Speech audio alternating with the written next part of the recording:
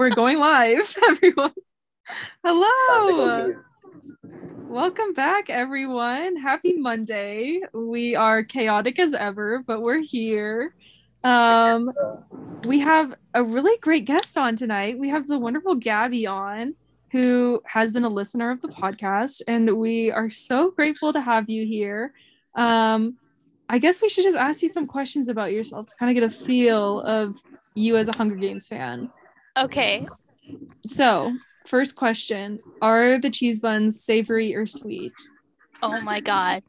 The most controversial question you could have asked me. This is the first one. there's I a, love you, there's a right Gabby. Oh my answer. gosh. Okay, I'd have to say savory. There's like right. yes. Woo. There you go. Yep. Uh huh. I You mean, can it just it just doesn't make any sense for it to be sweet. I'm sorry, but Ooh, sweet. that's fighting words. No, no apologies needed. Okay. Are we? I know it's a dumb question, but are we Team Gale or Team Peeta? oh my gosh. So I'm here for the Peeta Love Love Club, Yes. but I stayed for the Gale Hate Club. That's Yes. amazing. Yes. Oh my God, you're oh, I was worried there for a second. Oh, and. Oh, and two. oh my gosh. Okay. And then just tell us uh, about your. Just. Like I'm hung- kidding. Okay. Thanks. Just tell us about. mute yourself. Um, just tell us about your Hunger Games journey. Like, where did you pick up the book, the movie? Tell us about that.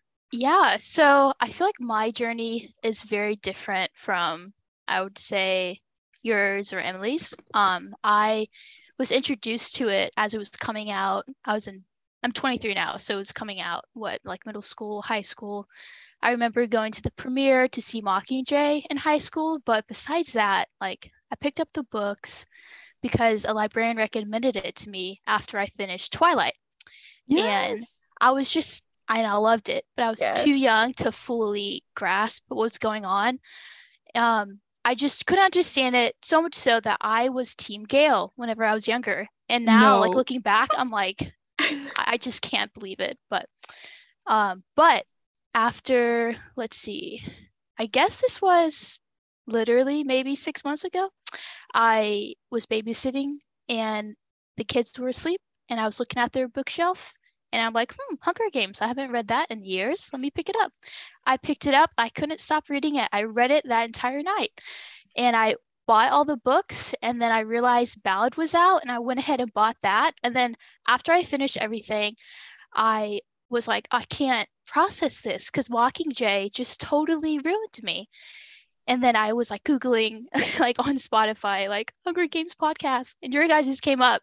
And so I just binge listened to everything and it was just so great. It totally helped me process the book, uh, Suzanne as an author. So it's just lovely. But yeah, now I'm a die diehard fan, and um, yeah, and I can't stop talking about it. And you guys are great to listen to because I feel like I can talk to you guys as I'm listening. So Aw. oh my gosh, that was so nice. yeah and it's Thank such you. a cute like come around story how at first it was it was one thing and then it became a whole nother thing at a different part of your life so i Yes, relate it- to that yeah, that's I a always a sign of a good author. Oh, go ahead. uh-oh oh, Okay. you go. You finish. You're good. okay now go now go ask your question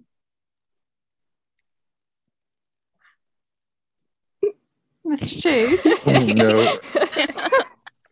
can anyone read minds what was he gonna ask I was gonna ask who her favorite tribute talker was. ooh dun, oh dun, my dun. gosh. Can you hear me now? yeah we can hear you I was gonna ask who her favorite tribute talker was. this is this is important My favorite tribute talker or my favorite tribute talk episode? both Talker. Oh no. oh no. i'm kidding no, no, don't don't break us apart. yeah Gabby Okay, comes I on one last episode and destroys us. oh no. You know, Oh. it's okay. So this is similar to like the Hunger Games, right? Like we have characters we love so much, and but then as more are introduced, we fall in love with the others too. But that doesn't like stop us from loving our OG characters in the first place. Like all the love is shared, you know. Mhm. He's saying I'm an OG character. You're not an OG. You are one of the characters I was introduced to, and I'm like, oh, great, fabulous. I'm here for it, you know. but of course, I was introduced to Tribute Talk because of Emily and Holly. So yeah. it was us all along. Sorry. I like Gabby. She's great. yeah, she's amazing. I'm oh my fan. gosh, stop. okay. Um, shall we just dive into Ballad news for tonight? Whatever we have. It's kind of not as much as usual, but Yeah. that's okay. It's nice. That was good. Girl. Girl. Tonight's gonna be chaotic. It's, it's so It's gonna be too chaotic. skirts. we do have skirts. We have skirts. So should we start with those pictures, including the Francis photo? That's what I'm obsessed with. I feel like that's that's definitely Francis, right? It's a hundred percent Francis. It was pointed out that he was wearing uh, the like puffy jacket, and I'm like, The oh, North that's, Face. Yeah, that's him. I just love this photo um, of him through the bushes. Like it's perfect. Like you can just see him. It's so perfect. I think that should be my new wallpaper. I think it's going to be actually. Y'all think Nina got kicked off set or something for yelling at the extras? Ooh. Wasn't she in one of the pictures? Like we have seen her, right? Wasn't she in one of like the lake house pictures? Or am I oh, I imagining think, that? I think so. That was Oh, I a uh, while think ago. that. Maybe she did get fired. See what she's up to. I like the the plaque for Heavensbee Hall. That's pretty cool. Do we not Why like it? no, I just I think it at least okay. I'll reserve that one. It's definitely one you have to see on screen. But at least from the picture, Yeah. it looks really shiny. It looks like papery, like a golden Yeah. ticket from Willy Wonka. Yeah, that's what I thought too. oh my god, it's like But the I'll Michael reserve Scott, the right. Willy I'll, Wonka. reserve, I'll reserve the rat to see it on screen first. 'Cause it Yeah, gets all- maybe wait. Oh my bad. Wait until we get to the movie, okay? No judging everything. I'm sure it looks fine. Yeah. Yes, ma'am. okay. What else do we have of these pictures? Did Without Ronnie, anything? I'm like, what are we supposed to say? Ronnie is Ronnie knows what to say all the time. All right. um, what do did you all so I missed last week. Did you all talk about the skirts? hey, Holly, you need to give us your your thoughts on all of this. Ooh. We, I'm t- did talk about it in depth. like I don't to be honest with you, I don't have thoughts about it. I think like at I'll this take that. point, I'm just like they're doing what they're doing and I guess I'll see it on camera and that's it. Like it looks absurd, No, Thank you. but I get it. You know what I mean? Like I get why they're doing the red. I don't know. But the skirts, I don't know. I I I don't get it. I get it, but I don't get it. That's all I have to say. Still on It's a a solo movie. flight over here, I guess, huh? it's like Alright. it's like that Harry Styles quote about like, oh, it's like a movie. You go to the movie and you experience a movie. Like that's what I feel like when I see those skirts. Okay, Gabby, what are your thoughts about the Oh. set photos? Um, yeah, I, I'm a sim- I'm in a similar boat as you, Holly. Like I, I'm hoping that there's some movie magic that's gonna happen, but Yeah. uh, um, initially not a not a fan. I'm like it's just like pick a lane, skirt or pants. You know, like it's Yeah, savory or sweet. right, right. Um, yeah, I'm just I'm I'm not entirely too hopeful, but I'm just gonna wait until the movie, and it'll be better when it's the movie because everything's always better. How are you feeling about ballad in general and the movie? I just really want to see marketing happen for it. And I understand maybe we're not in that stage yet of the movie Mhm. process and the in the making of the film, but I'm so ready to see some like polished advertisement. I want to see a trailer. I want to see like their best foot being like taken, like their best foot forward. Because right now these like set photos, it's like it's it, I get more questions as I see it, and I'm just like it makes me more anxious, and I just like really want to see it. I'm I'm excited f- to see the movie, but and I don't know how they're gonna p- pack like that entire book into a movie, but I'm hopeful for it though. We'll see. Yeah. Were you a fan of Ballad or what were your thoughts on it? Like where would you rank it with the other books? Oh jeez. oh, more tough questions. Oh. I know. I Oh. love to put I love to hear everyone's thoughts on Ballad. I actually really enjoyed Ballad a lot because of um so the just the things that I've studied in school with like John Locke and Thomas Hobbes, I like seeing the their names on in the quotes on one of the first pages of the book. I was like, okay, I know this is going to be amazing. I know this is going to have so many layers to it. So just right off the bat, I was really pumped for it and I'm glad that I didn't end up falling in love with um Coryo. I, didn't want that type of like villain arc. So I think Mhm. it's very well written. But how I, w- how I would rank it, uh, like I think it's just in an entirely different other category. I don't I don't want to Mhm. rank it to the trilogy. That's fair. Yeah. Agreed. yeah, it's very different. Especially reading Mockingjay. I don't know, like reading Mockingjay and reading Ballad, especially the chapters we're going to talk about tonight. I'm like, these are very different stories right here. Mhm. Mhm. Yeah, and I think one leans in more into like the the beginnings of war versus the ending of war. They're very different, and how you see humanity is different, and these characters are so different. Like it, it makes sense why we see that contrast. You know. Mm-hmm. Definitely. Yeah. And then we got some unofficial casting announcements today from, is it Lily? Right? Yeah, Lily, who runs the the Ballad of Songbirds and Snakes Germany account on Instagram, did some detective work, I guess, and found these names listed on like the the agents' websites for the actors. So I mean, I feel like it, that's pretty much official, but unofficial technically, That's Yeah. some super sleuthing for me. right? like I know. dedication. Very impressive. Some of these nothing. characters, I'm just like, I don't even remember. Oh. Who is Florus? Like, I don't remember Florus. Florus Friend. I'm like, I've never read this name in my life. I'm like, I I've read a lot of Sandalip. ballads. He's just listed on like the the sheet. That's all. There's no Yeah. lines at all.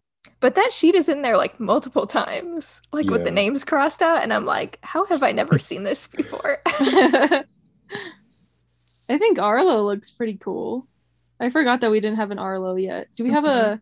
Is it is Lily and Arlo? Is that the names? Lil. Uh, Lil. Lil, yeah. Do we have Lil yet or? Uh, Lil I Wayne. don't Don't think we have a little. Jeez.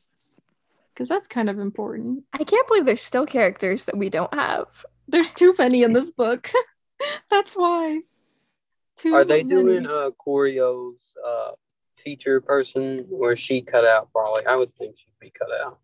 See the in the uh behind the scenes picture, there's like a lady at the top of the stairs, and Yeah, she's wearing like a black and white outfit. yeah, Is it Satyria? it's Satyria Click and uh And then Sejanus's mentor? yeah, I well? forgot her name. Yeah, Is that oh Fabricia? Fabricia. Uh, yeah, Febreze. Fabrice. Fabrice. Febreze. Yeah, Arlo looks cool. I don't know. They all look fine. I definitely didn't picture any of these people, so No. maybe Io Jasper has like the biggest role, like of I like of that name. It's my these. favorite name of them all. I think it's cool too. I like it. Io Jasper. I'll definitely be naming my kid that. Any other so- thoughts on Ballad things or Oh, I did like the clip that someone recently posted of Rachel's live where she's like gushing about Oh, a tongue. Oh my god. That was cute. it really got me thinking too. I was like, damn, we really are gonna have to like accept that we can't gatekeep him forever. Right? I I know. I I feel like he probably is going to become a big actor. mm-hmm. I mean, it's what happened with Jennifer, you know? Yep. And I feel like they have this about the same amount of fame pre movie. You know what I mean? True. I mean, Jennifer was in Winter's Bone, but like at the time, like if you asked any average regular person, like, hey, do you know who Jennifer Lawrence is? They would have told you no. And then Right. Games, I mean, she was nominated for the Oscar like right when she was Yeah. cast. So Yeah. And Yeah. Tom has Billy the Kid, which is not really popular, but popular I keep getting like I keep getting like Billy the Kid TikToks on my for you page. Me too. What? Is that a fun. thing? active, like, I want that. for it. Yeah. And I haven't even watched it. I'm like, the algorithm is wrong. I haven't seen this. You're not spying on me properly. What? I did not know there was a whole realm of TikTok for Billy the Kid. I mean, it's not like, you know, extremely extensive or anything, but, But it, I was like, there's a comment section. You know what I mean? I'm like, there's more than three people. That's wild. Like, are they I mean, are they Hunger Games fans? Is that why they're there? Or are really people just enjoying this show? Yeah, I didn't really do show. any like further investigation. I just like came across like a Billy the Kid edit and I was like, wait, what? And then I thought it was maybe like one of you that had posted it, you know what I mean? And then I realized it wasn't. And I was like, wait, are there's eight comments on here? That's wild. and, and then I pretty much stopped there. I didn't go and like investigate each person's like page or anything. And then I don't think I liked the edit in the end, which is stupid because I wish I could just like refer to it more easily, but it was surprising. Yeah, that's interesting. I mean, it is good. People should Yeah. watch it. I know. I need to do that. yeah, I should do that, but I'm in the middle of Gilmore Girls. I can't stop. it's I that mean- time of year. I can also understand like watching him as Snow for the first time and like wanting that. Yeah, So that's a little bit of like what I'm like on the fence about. I'm like, but I don't know. He's already Snow to me. You know, like even though we haven't seen any like footage or trailer or whatever, you know, like he's Snow. But it's whatever. well, is that all we have for Ballad? Like I said, Ronnie's not here. We need Ronnie. I mean, nothing has really happened this week, so yeah, it's been a pretty quiet week. And then I feel outnumbered with the red outfits, so I'll just I'm I'll so just let sorry, them AJ. hey, I'm not. I'm not against it. I'm not against too. I'm not for or against. Jerry and I are kind of like in the middle. We'll see. We'll see what happens. okay. hmm, I need a. No, I'm still not gonna like it. I was gonna say I need like a higher res image, but I'm like, nah. I think it's always gonna be weird to me, but I'll Yeah, get I'm used to it. sorry. Uh, Chase, you're letting me down. No, I'm just visualizing myself in the cosplay at the premiere. Like I just, I want to match. Never mind. That's gonna get misinterpreted. just I makes want to be at the premiere. what? Makes me think the Avoxes, but it also makes me think the movie Us. Oh, Yeah. Oh yeah. And that kind of creeps me out. It makes me Mm. uncomfortable. yeah. Whatever. I'm I'm here for it. I'm already preparing for the cosplay. I'm already preparing for Halloween next year. I'm ready. I mean, oh my don't gosh. get me wrong. I'll be in the outfit with you, but but I won't means a like it. Matthew commented saying that the Capitol Citizens outfits are are good. Or are they good or red flags? They're not good. I good. feel like that's a red Oh. flag oh. for Yeah, like red the flag. movie. Uh-oh. Yeah. Well, they're they're very different. Is the thing like that's where I'm getting these suits kind of confused, is because you have these bright red over the top I get. Well, I guess that makes sense then, because they're Capitol s- citizens or students. But again, that's not how they're. It, it's a literal red flag. I don't know, but that's not how the uniforms were described in the book. So I don't know. I don't know. It's fine. I'm sure when we get like the the BTS whatever where they explain the choices that they made, like when they the the Trish Summerville bonus feature, you know. Oh They'll yeah. like, here's here's what happened. Whose idea was this? Was Here's it mine. yours? Oh, okay. Well, or, are she, we or, ready? or she could be like, you know, I had too much pasta, and Oh this is where we ended up. I mean, that's not going to be a good excuse. It is for me Oh. because it's it's in character. Even though she's not an actor, I'll take it. I'll be like, you know what, you're dedicated. I appreciate you. Is Posca a real thing? I think so. Question mark? Is Yeah. it? I never bothered to look it up. I thought it was a fancy like Capitol term. hmm. No, I thought it was a real. because That's I know it's not necessarily the same thing, but I like for me because I, I wasn't sure if it was real or not, and I couldn't be bothered to search it. But I was like, this reminds me of absinthe, and I know that like Uh, okay, I A lot of googled them- it. Yeah, it's an ancient. Posca was an ancient Roman drink made by mixing wine, vinegar, and water. Ew. Ooh, Big oof. No, ew. they were struggling. Vinegar. that is No. I mean, it says it was Like typically a orange juice. drink for soldiers, the lower classes, and slaves. So, like, I guess, I oh, mean, this is just what the Capitol can afford right now. yeah. Hair on the But just- like, why We'll drink why grape juice and the call it vinegar? Posca. just have the wine in the water if you're gonna, you know, have to dilute it? But why add the vinegar, bro? That's too much. It It's gives it a little probably tang. mostly Ugh, vinegar. and imagine your breath after having that. Ugh. Gross. Mm, can't imagine. And the that. hygiene at the time. Mm-mm. Oh. Oh no no no. Yeah. Well, thank you for looking that up, Emily. I appreciate you because I never would have done. you know what would be cute though? Wait, just real quick. I'm totally getting way, way, way ahead here. But like, let's say we're all at the premiere, right?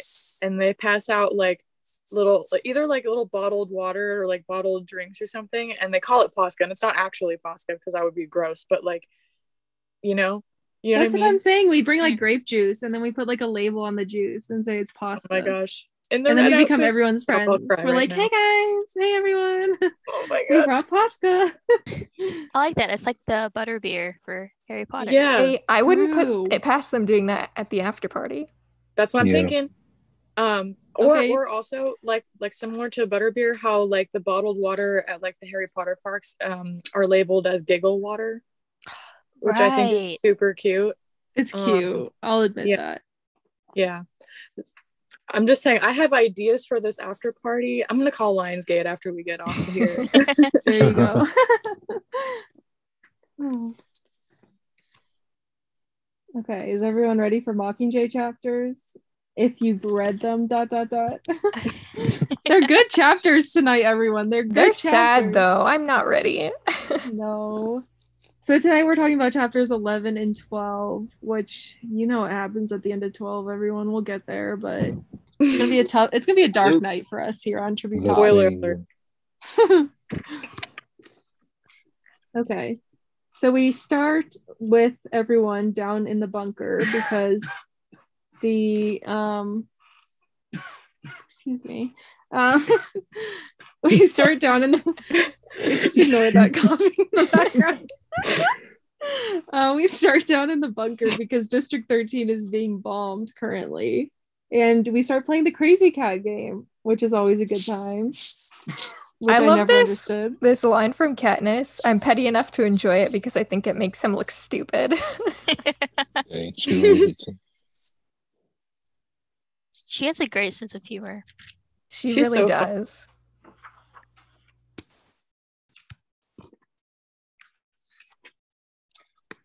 And I like Um, how Oh, go ahead. Go ahead.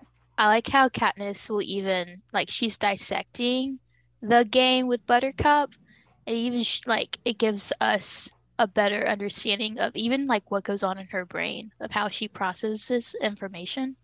Mhm. Yeah. It's just really good character writing. Oh, I know. And these scenes especially have a lot to do with like her trauma and PTSD and the way that Suzanne writes it Hmm. is just absolutely amazing. And like you said, when you first read the the trilogy, you didn't fully understand it. Like that's how I was too. And going back and reading it as an adult is a completely different experience, I feel like. Mhm. Yes, it totally is. You're more mature now. Exactly. Yes. Exactly. Like find Posca. Yes, exactly. um, and then we get the whole line with her and Finnick about it wasn't until Peeta hit the force field and nearly died that I and she's like, that you what? And that he's like, that I knew I'd misjudged you, that you do love him. And that was like 13 year old Holly screaming, like, yes, you do love him. he loves him. but then we get some Finnick. Mm, that iconic quote from him about how he drags himself out of nightmares each morning. Oh, That hurts. Relatable. Only time that there's no relief in waking up. It's heartbreak every time. Yeah. And then I get I get so mad here. So after they end up talking, if anyone else has anything, but after they end up talking, Gale gets upset. I'm like, "Are you kidding me, dude? You need to relax. Of relax." course he does. That's what he does. Yes, she's like, "I think he might be gets upset. jealous." Like, Gale can think whatever he wants. I'm like, "Yeah, he can. He can shove it. I hate him. like, I hate you. I just hate you." Hey, I'm with you. These these are his bad moments. I'm 100 percent like agree. Like that's why is that even on his mind? Yeah, and Finnick is like, at, he's like way older than Katniss. So it's just like also kind of creepy too to even be thinking about that. Because we have to remember, we always forget Katniss is literally 17 years old right now. I don't know. Oof. It also just shows that like Gale like he doesn't understand the bonds that are made in the arena. True. Like he just sees it as a superficial like oh someone's flirting with Katniss, but really it's something that's way deeper and he just is does not get it. I I'm I just don't like him. yeah. My friend Drew said Gale fell off after the first book. It's true. True. he did. and he was barely in the first book. I'm like, exactly. Because that's where I'm at too. I'm like, listen, in the first book, I really honestly don't mind him. And everything that we learn about him, about like how his friendship with Katniss even started in the first place, like all of that, I'm like, I love all this. All this is fine. It's the minute she comes back from the games that everything falls apart for me. Um, yep, and then he turns psycho crazy control freak. So Mm-hmm. Mr. Nice Guy. I thought it was interesting that um, she mentions that a lot of District 13 was destroyed. In the bombings, like their old quarters were destroyed, so they have to go somewhere else, which I just haven't read Mockingjay in forever. So there's like things that stand out to me that are not in the book, but or that are not in the movie. Because in the movie, it doesn't seem like that much happens or like has been affected. Yeah. Especially with that whole line of like, they don't know what we have or where we have it or whatever. Like, Mhm. they're kind of striking Well- at them. Hello? Yep. Okay. There was some fascinating comment there. I'm sure. I know they did bad. I'll just wait. I hate it here.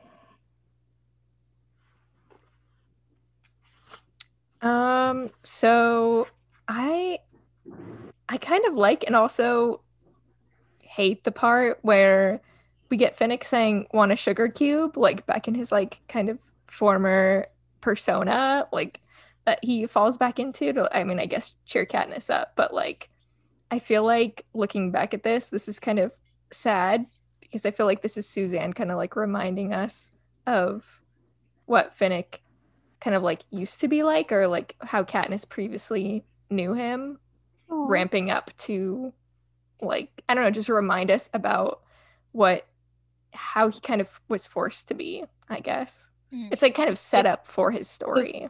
I was gonna say like when I when I reread Catching Fire and then Mockingjay after after reading Mockingjay, or like especially like with in mind Finnick's like origin story, I guess if you will, is like the whole sugar cube joke thing was not like authentically Finnick either at that point yet. You know, it was like that was Finnick in his survival like mode, I guess Yeah. um and reverting back to it is either like a coping mechanism or like after wearing that mask for so long you don't know how to put it down and like put it down once and for all because he's like safe now in that regard but it's like you can't just put that down. And then there is also of course like the humor.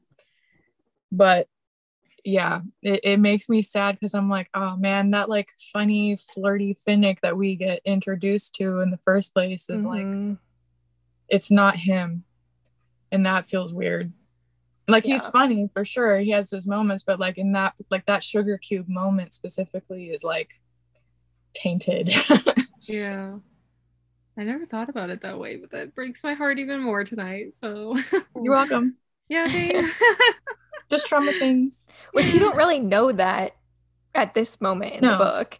But No, then you don't. she puts it so close to then the next chapter him like sharing his story so you can be like, oh, oh yeah. and then you're like ah man i can't have one nice Mhm. thing can i? Suzanne said it's only trauma for everyone always. No fun allowed. Speaking of which, the PTSD really picks up in this chapter. um, but really, like on page 160, just her talking about smelling the roses, like the sickeningly sweet smell hits my nose and my heart begins to hammer against my chest. And then it just like she kind of spirals into this actual, like this real panic. And I feel like as somebody who like has anxiety attacks and panic disorder, like Suzanne does a really, really, really amazing job mm-hmm. describing that sensation. Like I know everyone experiences it differently, but the way that she worded it really is very impactful. And then it gets even crazier on 161, talking about um, having the coffee and she can't breathe. And again, it's just like this spiral out of like what seems out of nowhere. So I love that part. As much as I hate it, I love it. no i feel the same way to, with like ptsd as a whole you Mhm. know like that's that's something i've always appreciated and especially rereading it as an adult too um having ptsd is like this is one of the few depictions i feel like where i actually relate to it.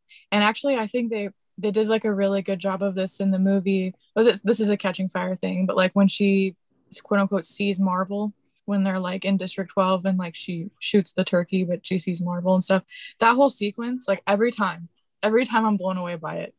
Mm-hmm. and in the book mockingjay i feel like they definitely do that really well a lot too. There's less of it in the movie for sure but yeah. I i really appreciate the um, the focus on katniss's mental state in mockingjay. Because i feel like the previous two books were like you're really so concerned about her physical safety.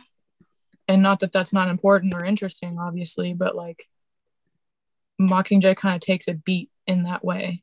And it's uh, like later on you know you get more of the physical safety thing but at least in the first half or when she's in district 13 you really get like a pretty good insight i guess Yeah. Again, another point that I did not realize until I was old enough to realize it. Mm-hmm. yes. yeah Yeah, like Suzanne, she writes so well like of, of Katniss in this moment becoming unhinged, and then if you didn't understand it, then she even writes like Katniss saying in, on page one sixty one, designed to unhinge me, like all these things. it's like Yeah. if if you didn't get it before, she's like, here, it's unhinging her, guys, um, which is exactly what PTSD and um like that's that's precisely what it does. And she like just so eloquently like paints that out in her writing Yeah. and it's so sad every time I read it. Yeah, and then it gets worse on 162. Like, like I oh, swing my arms to loosen myself up, place my fists on my hips, and just like this constant, like she's describing all five senses of what she's experiencing and in just one paragraph, and then all of a sudden it's just over, you know. So but then on a comforting note, I love how she's like several sets of arms would embrace me, but in the end, the only person I truly want to comfort me is Haymitch. I'm like, wait a second, stop. That whole paragraph, I was just like, what? Like, I didn't remember this. It's like so sweet. Like, I love Haymitch. Katniss and too. Finnick, or Katniss and Finnick, no, Katniss and Haymitch's relationship is honestly so incredibly special to me. It is so important, and I'm soft. It's so sweet. He loves Peeta too. And like it's just so like their relationship is so hard to like pinpoint too because it's the back and forth, but you know how much they both care for each other. And Mhm. so seeing that like really sentimental moment between them kind of like solidifies that their relationship is so close and so important to her and to him too Mm-hmm. because we learn more about his past briefly in the next chapter. They're his family. Oh. Stop. I hate you. Oh. Stop me reading it this afternoon. Be like, oh, I'm fine. I'm fine. Everything's okay. So Um, then we decide we're gonna go rescue Peeta. oh yeah, let's get this team together. I would be You the know, first you know who volunteered first. Oh my god. and this is where he redeems himself slightly. I feel like it was more like he owed that. like, That's true. like, True. you you've been on your bad behavior right now. You need you need some brownie points here. You're not wrong, actually. yeah, like Everybody after all the after all the things he said about Peeta and the things he said about people in the Capitol, like he knows he's got to do something. Mhm. Yeah. Did anyone else think that Gale was gonna die? No. I don't remember what I thought, to be honest. I don't I remember. thought it was a totally a possibility. I mean, I I'm just wouldn't put thinking it past possibility. Suzanne. It's certainly Yeah. a possibility for sure because any anyone's fair game for Suzanne, but um I mean, and they were playing it up like it was going to be so dangerous and like, you know, it's going to be costly. You know, people, people's covers are going to be blown. People could die, and I was like, oh, I was more concerned for Peeta to be honest. Suzanne's like, wait for the second half, okay? I don't think um I don't think she would have ever killed him though because she still needed that point on the you know kind of war theory. Yeah, that's what I was thinking too. Well, when I was reading it the first time, I did not realize that. So Oh wow. I think Yeah, when now I I read it the that. first time, I was just like, let's get through this. Let's see what happens. We have to be reunited. I don't care. Oh yeah, I mean, obviously I was excited for Peeta to come back. just scrambling. I mean that's a huge decision too. What always gets me in that is like when they say covers will be blown, people may be killed is like how do you I don't know, it's kinda like how do you justify one life for another? Like why is Peeta's life any more valuable than the person who's about to get killed for Peter? Like Oh, that it's like, you Right. Yes, how Where? Katniss will be like as a pawn, like be used in the as a piece in the game. It's not so much as Peeta, but as Katniss like not being unhinged. Yeah, I know. It's just that, like, who? It, it's more of like a theory or uh, something that maybe Suzanne probably wanted people to think about was like, who gets to make the decisions on who dies for the the cause, and how do you measure their value amongst each other? Like, why? You know, if someone in the Capitol was helping out with that, then why is their life any less important or more important than Peeta's in the process of saving him? because right they say covers could be blown and people could be killed because of this and things like that is that true or did i just make that up No, no, I, I see what you mean. Yeah. yeah i don't i'm not necessarily i just think that's kind of a fascinating thing to think about as far as war like Mhm. why is one life worth anymore just because it might help the war out. You know, it's kind of like, do you drop a you know an atomic bomb to stop the war from more lives being killed? And I think it's a fascinating debate to always be had. It is, yeah. And it's like helpful in how like how the rebels depict the people in the Capitol, like Mhm. as a whole, like if you continue to dehumanize them, it's easier to justify um doing anything that you possibly can for your cause to win. And then you Right. get to these questions of like, okay, then let's just be let's play fast and loose with these lives, you know? Yeah, it's scary. Yeah.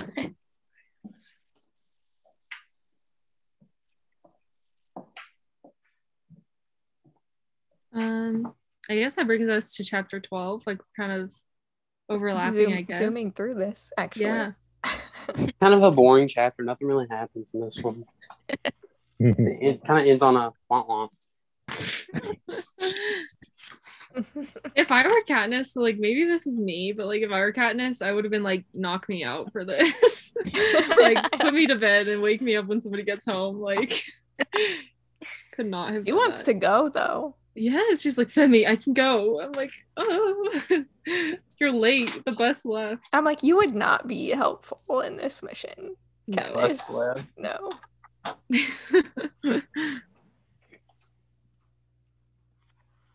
I love I forgot this whole line, so I mean I'm skipping a couple pages, but to 169 where she's talking to the camera and there she's speaking to Snow. Um the Capitol is fragile because it depends on the districts for everything food, energy, even the peacekeepers that police us.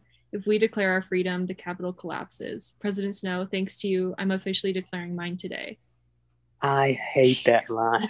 I love that Why? line. What? It's like I imagine her saying it really quietly, like, "And President Snow, I declare mine today." And it's just, Oh, I don't know, it always sounded so Oh, cheesy. Oh, I can't make it sound good in my head. How do you think of it? Do you think she's like defiantly yelling it, like like almost like a "We burn, you burn with us" type thing, or what? I'd like to see. No, I wait, I totally up with a agree with Chase. It's super cheesy. I thought you meant like the up with a beginning of way to that with like the districts because I I like that, but then the end of it about See, declaring her freedom, like I I think it's so cheesy. nice. No, And she's I like think it's looking up at a bird that flies over the. You know, it's like very awkward. Yeah, I feel like there's no way that you say that out loud that it sounds. Yeah, that's good. why I was like, Holly, how do you think that? Because I would love to know how a person who really likes that, like how they picture that. Because I can never think about Well, that. in a good it way. reminds me of her "If we burn, you burn with us" monologue a lot, and I think it's just really powerful because it reminds me of that line in the movie in Mockingjay Part Two where she's like, "I'm done killing snow slaves for him." Like it kind of reminds me of that, and I just really I like. I both think that of one's those cheesy too. Are you kidding me? What? That is That's not good okay. We're gonna have to Emily. part Whoa. ways. Hey, hey, hey! That is not okay. But but thinking about like the if we burn, you burn with us, like I feel like there is a way to say that in a really speechy, cheesy way, but Jennifer like delivered it so naturally and so well. So maybe she would have done the same with this Yeah, line if they had I- kept it in. Yeah, we just need to see the right actress saying it. Like in yeah, the it's just movie, hard I'm to pretty su- imagine. yeah, I think this line was was this line in the movie? I thought President Snow, Snow No. like explained how like the districts and how the Capitol their relationship. I thought like th- this was taken away from Katniss, right?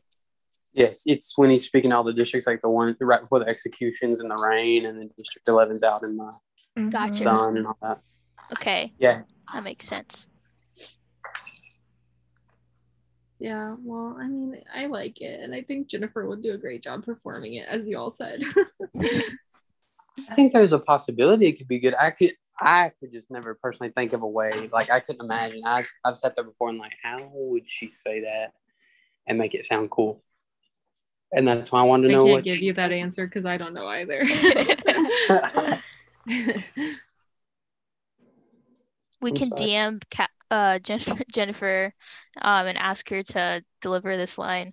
oh my gosh, if she ever gets a cameo, Oh my gosh, gosh. yeah, we'd have to all pull our homes together and get a mortgage on all yeah, literally. to be able to afford it. For the people who have messaged me asking if Jennifer Lawrence will be in Ballad, there you go. Yeah. Here's four million dollars with like a thirty second cameo, please. Sounds Might as well just get on Cameo at that rate. Yeah. Well, then the next part gets even more depressing because Oh, I want to go back to one, yeah, about Finnick 167, where he says one way or another, by the end of the day, they'll either be dead or with us. It's more than we could hope for. So Oh, that's hopeful. so dark. Mm. no, it's so optimistic. Ooh, it's but like it's foreshadowing like Peeta is here, but he's also not there with them. Like he's there, but he's not there. Mm-hmm. And it's like even worse than they could picture. Oh,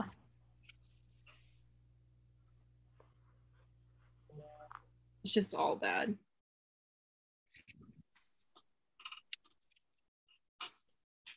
well, then, yeah, we do get to Finnick's story. So good. Yeah, it's so powerful, and it really deserved a lot more than it got in the movie, in my Rating. opinion. it's a rating with you. You think so? True. Yes, I think so. I there's yeah, this is like difficult to talk about, but um crimes of that nature are crimes that people have the hardest time looking at and acknowledging in any direct way. Um and unfortunately, it's easier to cut it out of a story or minimize it than it is to give it the proper treatment and then still stay within a PG 13 rating Mm. because it's very easy to cross over into like uh, a, a more mature rating, unfortunately. Mm, Um, it's just, yeah, uh, it sucks because I think it's an incredibly important detail of world building and and also just like for arc and narrative and everything, but to understand what kind of society Panem is, um, it's an incredibly important detail. And I remember reading that for the first time and then rereading it as an adult a couple years ago. It's one of my I mean, I mean, obviously, it's like I don't mean this in a good way, obviously, but just like it's one of my favorite um, details that Suzanne has included in the entire story. I think she saw an opportunity to do something really different, but not just because it's like, oh, this is a, a different storyline, like this is interesting, whatever, but like just because it's actually so important. Um, and it's the kind of thing that happens in real life uh, you don't have to extrapolate it to oh this is a dystopian thing. Like no this happens right now. Um, and yeah. So e- even though in the book it's still not like a major focus it's given more time. And because in a book you can get away with more without it you know pushing the uh, age of like your audience like that bracket or whatever. But unfortunately in a film context it's really hard to do that in a PG, like in a way that feels uh, like it's honoring the weight and importance of it within a PG 13 rating. Mm-hmm. dang. yeah. Sheesh. Unfortunate. I I mean, like, I wish Yeah. that there were ways that we could acknowledge it, you know, and stay within that rating, but it's very hard to do that and do it accurately, you know. Um, Yeah. So I feel like the way they did do it in the movie was very clever in the sense that it's still in there, but they had, they like, it felt like a deliberate distraction for the audience, you know, like we're watching Gale and the rest of the team infiltrate that Capitol building while Finnick is talking. So, like, Finnick is speaking, and it's kind of like a voiceover type thing, but you're focusing on Peeta's extraction. And it is a detail that a lot of people, like casual moviegoers, miss. They don't necessarily remember that part because they're looking at, you know, Mhm. the team extracting PETA, but it's still in there. I was worried that they wouldn't include it at all because they could have very easily have done that. Um, and it's funny too because it's kind of meta because while they're distracting the audience with Gale and the team with Finnick speaking and all of that, it's actually like Finnick is distracting Snow. Um, so there's there's like layered. Yeah, I was yeah, I was just thinking like, wait, there's so there's a double distraction going on here. Yeah. Mhm. Yeah. And so I feel like, you know, given the limits that they had to probably work in, I feel like they did a good job of still including that in there. Um, I often think back of the to those like deleted um, Caesar Flickerman interviews where he's like really predatory and creepy. Um, and that would have been hard to like throw in there and have it not be like jumping out at you, you know, like that would have that, that's probably why it got deleted because it just didn't fit the tone of the film. But by the time you get to Mockingjay and the method in which uh, Finnick's backstory is delivered, you can kind of get away with it a little bit more. So I think they did a good job. I have two notes. Go for it, Chase. One, I agree with what you said absolutely because I watched it the other day in the um, Mockingjay scenes, or you know, Holly and Emily ranked their favorite Mockingjay Part One scenes, and as I was watching that scene, spoiler, it's on the countdown. As I was watching that scene, it was like I found myself. Obviously, I knew the story, but like I wasn't even paying attention to Finnick. Like you're almost kind of consumed by the rescue mission. Mm-hmm. And so I agree with what you said. It's like it was kind of a distraction for us, and I don't, I didn't like that because, as if I didn't know the story, I would have never known his story. So Mhm. it was kind of like, why couldn't we have done this in a different way? I don't know how you would do it in a different way, but I was definitely distracted. Like I was not even paying attention to what he was saying, and maybe that's just me having seen it a billion times and knew the story. I wasn't paying attention, but I feel like that would have been an easy one to look over as an audience. Um, for the first time I'd ever seen it, I feel like that would have been easy to look over because you're so absorbed in the mission. Mhm. And second, the one detail I always miss that I wish they would have put in the movies is um, the Capitol people's reactions to all that. Because I know it mentions Plutarch like freaking out, Mhm. like when he's mentioning all the crimes and all the, you know, um, sexual whatever that happened to Finnick, you know. And I just think that's always so fascinating because these people had no idea what was going on or they just turned a blind eye to it. And I think it would have even been cool to see like some. I mean, again, then you're cutting into like three different scenes, but it would have been even cool to see some Capitol citizens reacting to this, or like Caesar reacting to this, or I think that would have been cool. But I mean, I get they can't cut to everybody, but that was a detail from the book that I always loved. That how shocked, you know, Plutarch and Cressida, all these people were at what they were hearing. Like we had no Right. idea, and we're even de facto, or you know, we're defecting from the Capitol and we had no idea about any of this. And I think it's really fascinating. You're right. You know, they didn't do it as good as everyone would probably hope in the movie, but it's it's uh it's a heavy scene for sure. Like I think of movies like Red Sparrow, right, which I know is is like not the same thing at all, but like for those of you who have seen Red Sparrow, you know, like it that stuff is addressed pretty directly.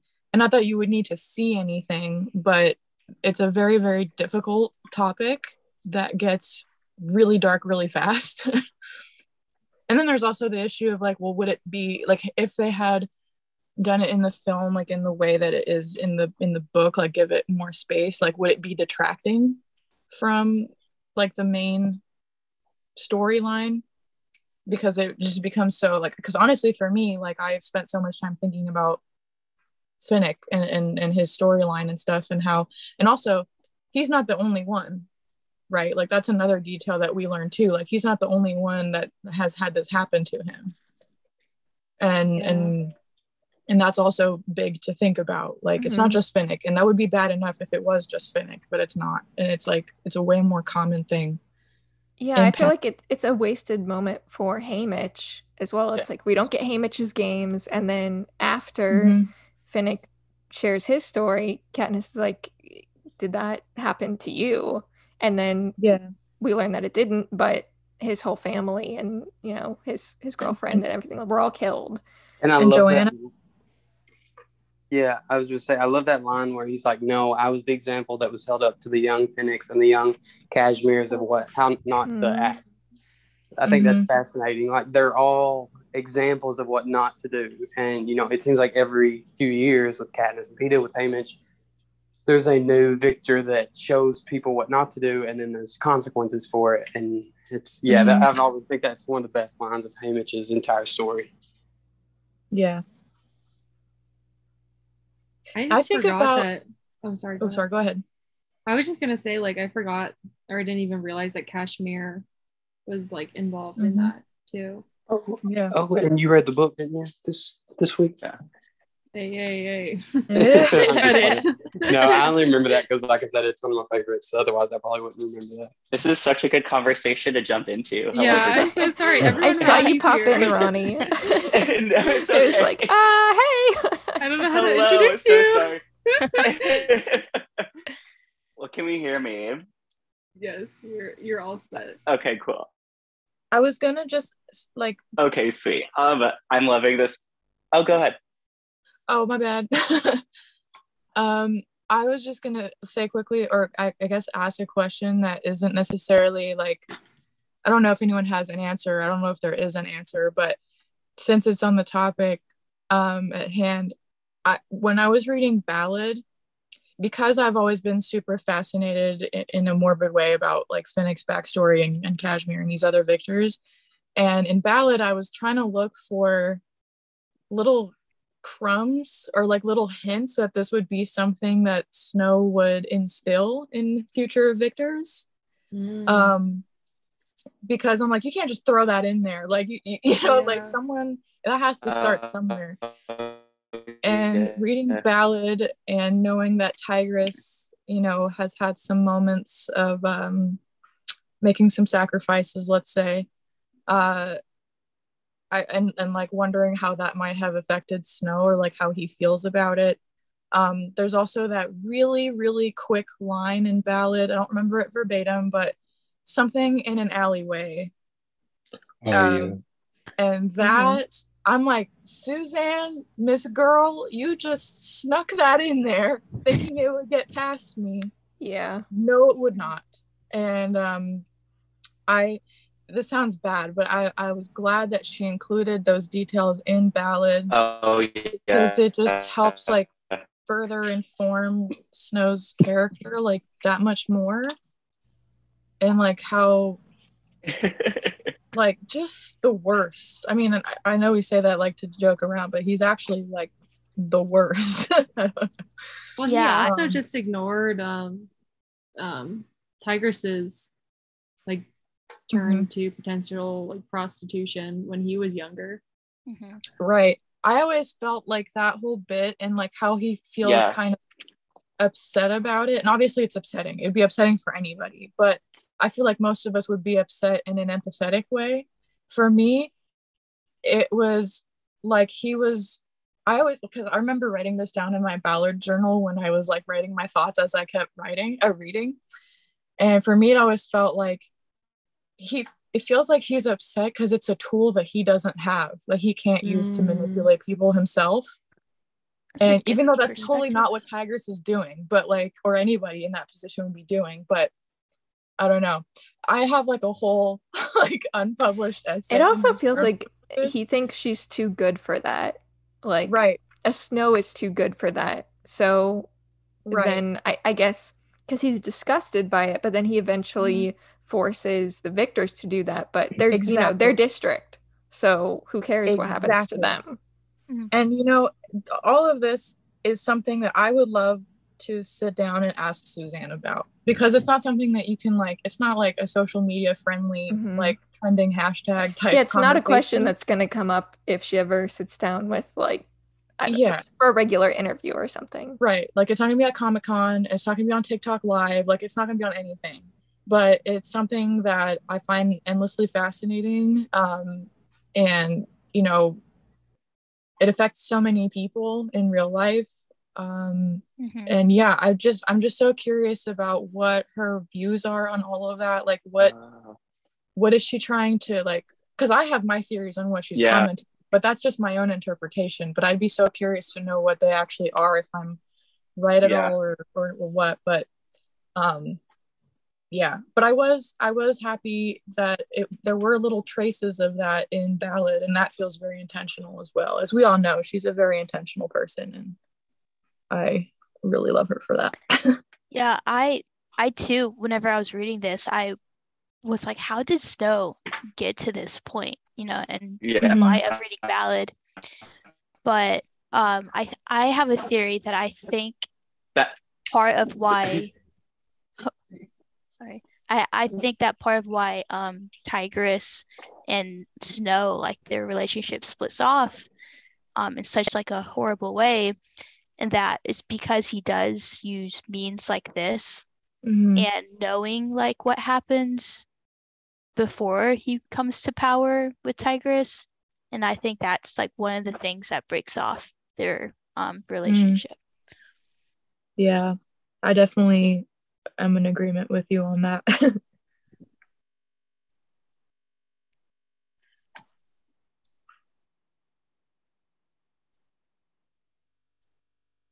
As hard as it is, I'm I am glad that Suzanne did write this and put this in, in the book because this is a very Mhm. much so like true thing that that happens. And I think she's being very brave as an author to like and, and also very like you described it as clever for the movie but she's also being clever here and how she writes about it Mhm. and like she's being truthful she's being honest and brave in it um and I and it truly is a war novel because of this you know so Yeah. I, it also just makes me think of like the concept of consumption in Panem. Like, how many different ways can you consume a human person? You know, and like in Ballad, she even threw like I mean, Oh, actually even Mm. even in the in the first book where Katniss talks about how like cannibalism is frowned upon. Oh boy. Yes.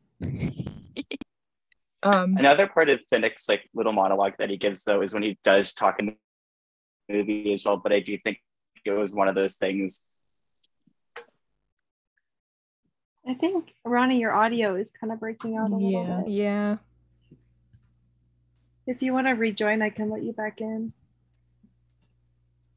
Cause you're you're like Yeah. Chase, you're under the water. oh, Me? Okay. Yeah.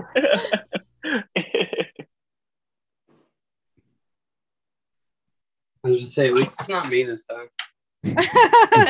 for once. For one I'm at time. home now. I got the good Wi-Fi, not the Oh. out of the internet. you bougie for us now, Chase. Yeah, good is uh, relative. 'cause it's usually not good.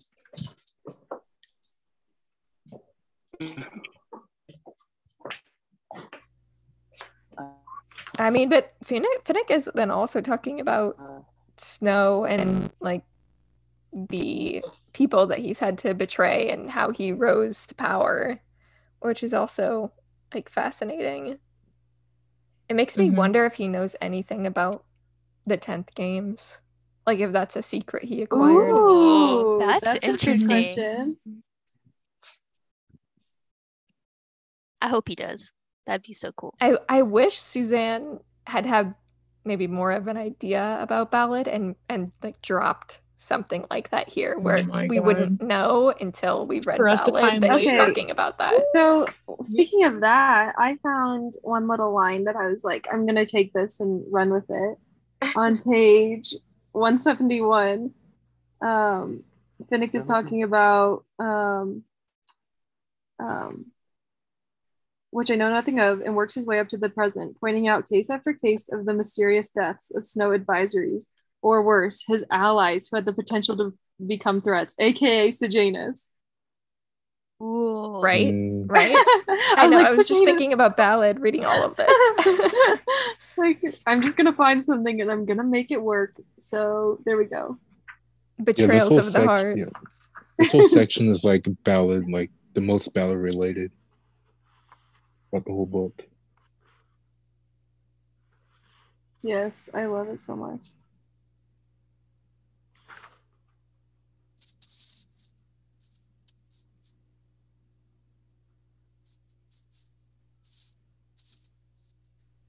Tonight's not appropriate for who who ordered this pig. appropriate. It's not appropriate. um. Then what else? Does anyone else have any comments about what we just talked about? I know it's like a really important discussion, so I don't want to just like breeze past it or anything. But I appreciate everyone chiming in on it. You're welcome. Thanks, King. It's just sad that we don't get more on Haymitch. Mhm. yeah. Which At Haymitch is, have- is just a cool backstory in general. I don't know. And he's like a big character. Yeah.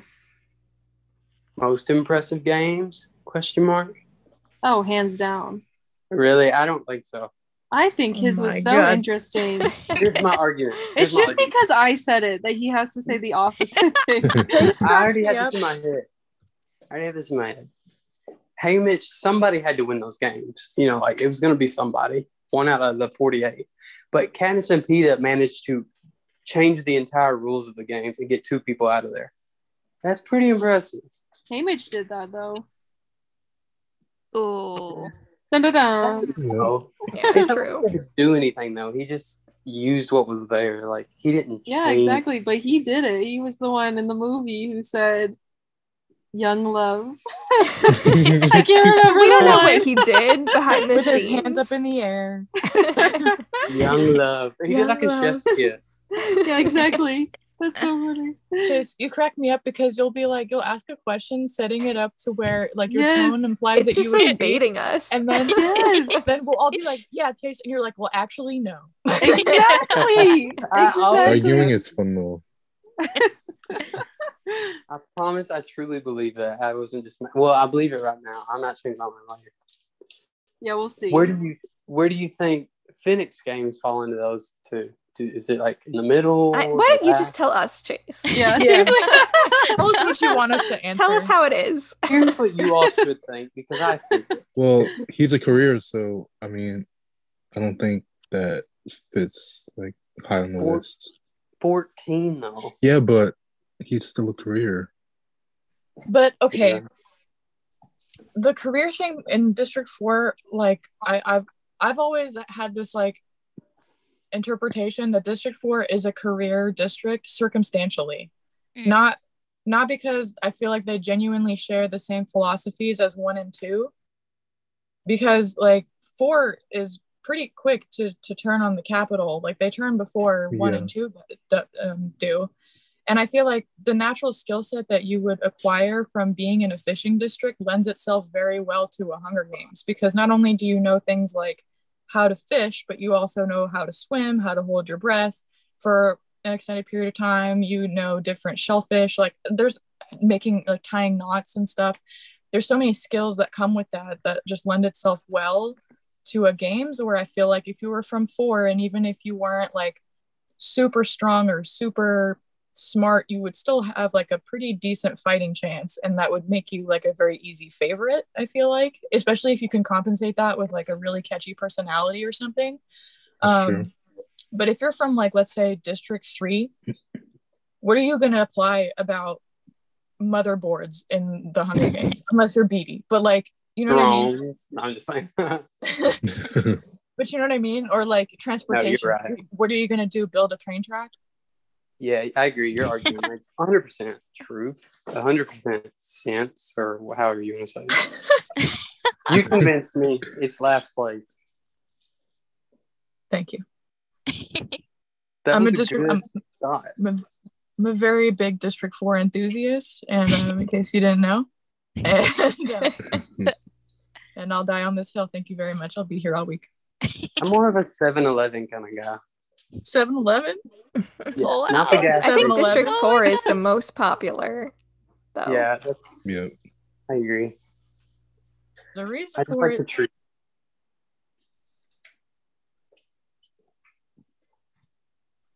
What were you saying, AJ? oh, I just said there's a reason why District Four is Oh. so popular. I thought you were like just going to that. explain Oh, something. I mean, trust me, I could My go bad. on a whole monologue about this, but I won't. I have an original character for that. We don't need to, you know. I'm I'm patiently waiting for my Enobaria speech that will come at a later tribute talk. session, but Yes. Ooh, Yeah. that's exciting. I have very, very deep, profound headcanons about that I'm prepared to back up with um, textual evidence. Ooh. We love citing literature major in sources. high school. I Here's the art proof. lesson. You got the proof. Exactly. and the juice. Yes, I do. It's about juice. Um, a shocking moment for me, I mean, I knew this, but it was shocking again, was that when Finnick and Annie get reunited, Annie has dark hair and not Ugh, red hair.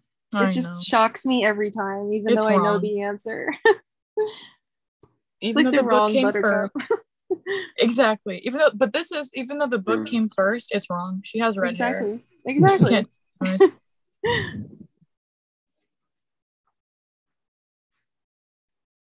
Um, anything else? I mean, she walks in and Peeta's home and Gale's home and everyone's happy and they're reuniting, but then Oh my gosh, but the the paragraph where she's like where Haymitch is saying like, come on, and then her paragraph after where she's thinking Ugh. about reuniting Oh. with Peeta. I'm like, Oh, Suzanne, I mean, Ouch. this was just next level cruel.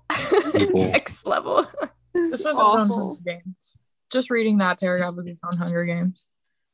I just remember this was like a twist that just shook me to my little core. Like when I was like Mhm. 12 reading this, I was like, what is going on right now? Core memory. mhm, mhm. yes. Yes. Everyone remember- remembers where they were when they read this. Yes. Yes. Even, Actually. Yeah. But yeah, I remember line- this too. it's it's just I okay I, I argued this in the group chat, but I said that this is the best chapter ending of all chapter endings that Suzanne has. My lips are just forming his name when his fingers lock around my throat. Like they're just again, we remembered where we were. Yeah, Like, I would have to best. agree because Yeah. this is the only ending that I willingly stopped reading for a little while. I was like, Go what? I was like, mm, I remember mad. stopping in my tracks and being like, what's going on here? And then I was like, took a breath, and then I was like, we need to keep reading. yeah. I don't know. The ants coming out of her eyes. No, no, Chase, Chase. Yeah, this is a good one. I have to say. I don't remember. I wish I did. I don't remember anything about reading it for the first time. Same. Really? I think the the chapter ending that like was the most memorable to me. I don't know that it's the best one, but it's the one that I remember the most is the like there is no District 12 thing in Mm. Catching Fire. Like Mm. that messed me up. I was like, what do you mean? What do you What do you mean here? what do you mean? I was at heightened That was had to tough for run back to me. Barnes Noble ASAP. the book wasn't out. Mockingjay wasn't published, so That would be miserable. it was awful. I That's what I'm remember I'm going back into the arena. That was the biggest one for me. I think I put the book down. Yeah. For. Wait, Mm. oh yeah, I don't even know how is that possible. Like you can't Yeah, go. that That's against the rules. Rule breaker. It's Primrose Everdeen though. Like that got me for a minute. But then like then you know, she volunteers the next page, so They Yeah. tell you on the back of the book, don't they? I don't remember reading the I back. don't of the book. remember, yeah, Oh. reading that. I didn't know I know think he kind of spoils it. It does I spoil thought- it. I wish they wouldn't have. That kind of was pointless. I mean, I knew that much going into reading it that she was doing reading games. I think I knew she was going, but I don't think I knew how she got there. So I that probably was a little bit like a whoa for me too. I just don't remember it.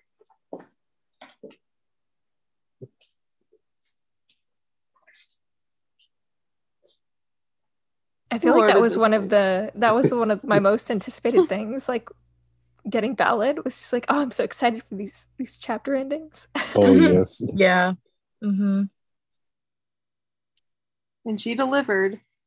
There I was like, good I am ready to be hurt again. please, please, Suzanne. I mean, her power is so strong that I still feel hurt whenever I read a chapter ending like that. Like Yes. too much. Yes. I know. Like rereading it, I'll be like, I know what's coming. And then I'm like, what do you mean she's going back into the arena? What do you mean there's no every time I am Love bamboozled.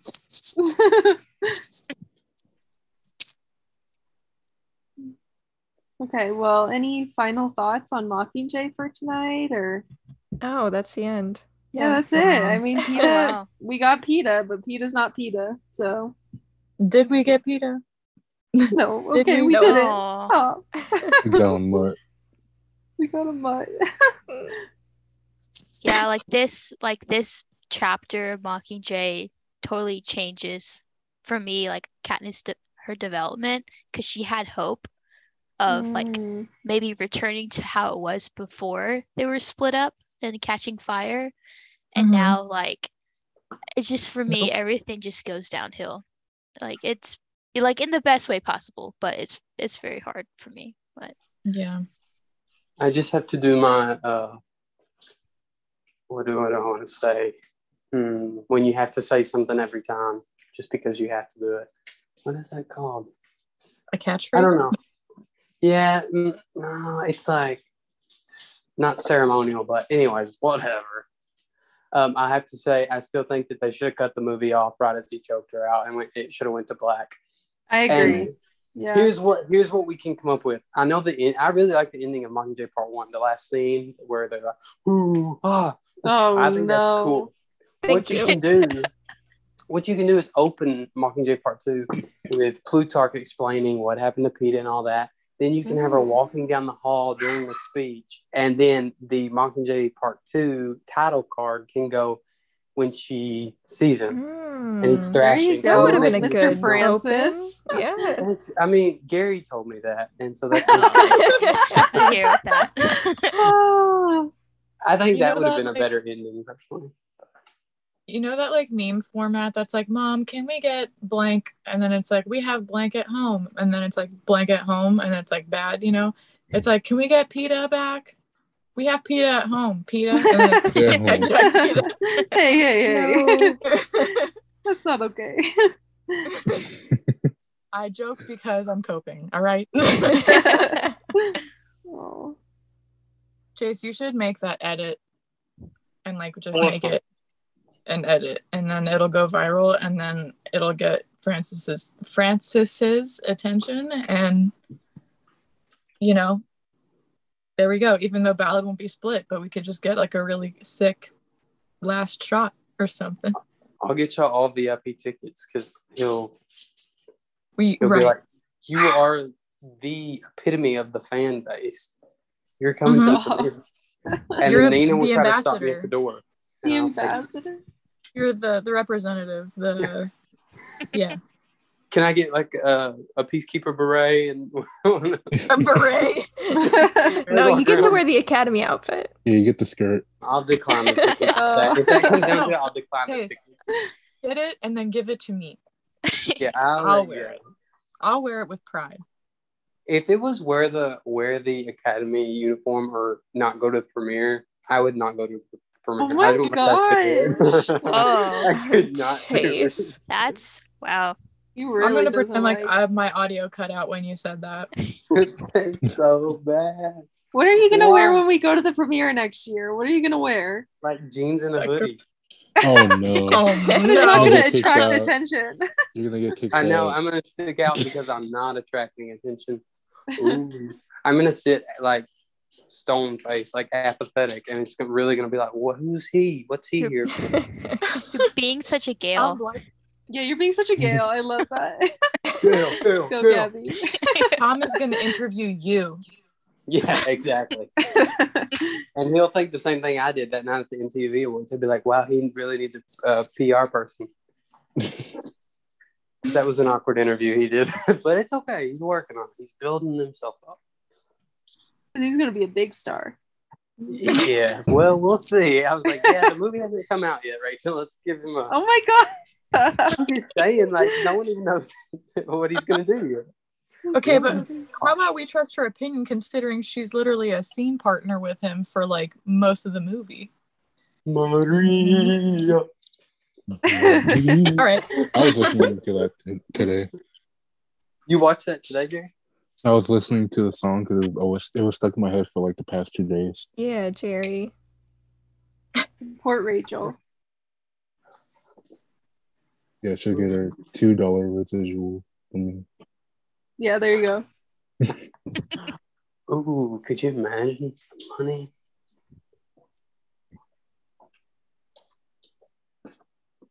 Oh, Who ordered, who ordered this thing? Who ordered this pig? Who Fuck ordered yeah. this pig? eh? Uh, Okay, friends, is that all for tonight? Seems so. I'm waiting for graceful Chase to say something. yeah, we just awkwardly, awkwardly go into silence, and then it's time to go, everyone. But thank you so much, Gabby, for joining us tonight. It was such a pleasure to have you. Oh Yeah. my gosh, mm, thank you so much for inviting me. This was so amazing and I was so excited. And I You're just welcome back always. I'm just in awe that you guys responded to my Insta DM. So oh. oh my gosh. No, of course. It was so they nice. still don't respond to mine, so it's okay. Yeah, we don't. We ignore. Don't respond to ours, Chase. it's the other way around. well, when I send 40 a day, it's kind of hard to keep up. hey, no one responds to my Liam Payne memes. They scare us. okay, well, that's why I post them. Anyway, it was so great to have you, Gabby. You're welcome any week you want to come back. Just let us know because you're amazing. And okay. Yeah, you did Um, really good. yeah, you're killing Next week, it. better be here. Okay. All right. Don't twist my arm. yeah. But until next week, join us. We'll be talking more ballad and chapters 13 and 14 of Mockingjay. Woo. Boop boop. Woo. Good night. Bye. Bye.